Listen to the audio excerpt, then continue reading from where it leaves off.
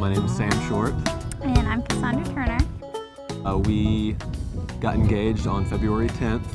Uh, it was after Josh Turner's show at the Grand Ole Opry. I bought tickets for her for Christmas and immediately knew that this was the perfect opportunity to propose and hopefully get a yes. Uh, after the show, we did the, uh, Backstage the backstage tour. tour of the Opry House and got to go on stage where I said I didn't, I didn't have anything to sing, but there was something that I wanted to do and got down on my knee and, and popped the question. And I said yes. It worked out pretty good.